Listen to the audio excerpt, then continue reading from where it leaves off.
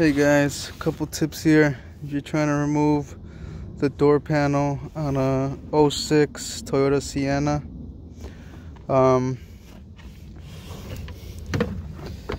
this piece here, this plastic molding,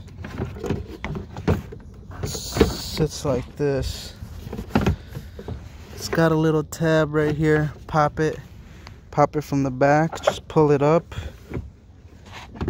and then lift it out. It's got this little hook here. It goes in here. Um, you have to remove these two screws underneath plus these two right here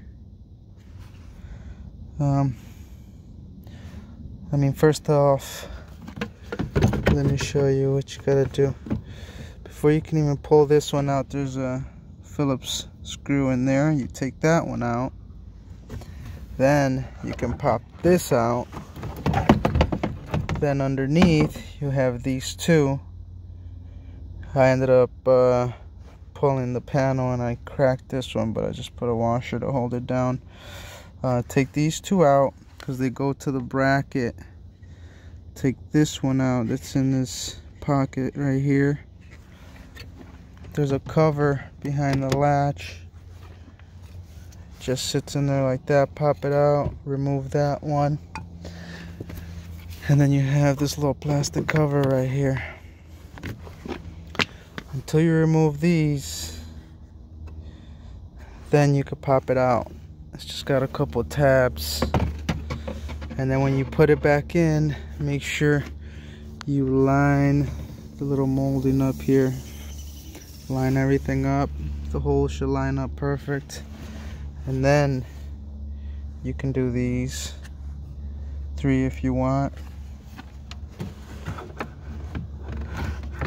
this molding you have to tuck that little tip in first and then it will drop right in pop it down there like that put your screw in there put your screw in there put your screw in there pop the cover on and that's it. So remember remove this one then this molding can come out. And you can remove the two underneath the one in here the one in here. This piece just literally is held in with a tab up top. It hooks down in here and then the tab up top just grab a screwdriver and pop it out like that. Um, I had to repair the little buttons. Um, guess they were pressing down on it too hard and it cracked the plastic. There's a screw on this side and a screw on this side holding the buttons in place. Um, I just added a washer. There was a little piece of plastic still left on it. So the washer's just kind of like holding it in place that's the only solution I could find for it right now other than replacing the part. So that's how you pop a panel on this one.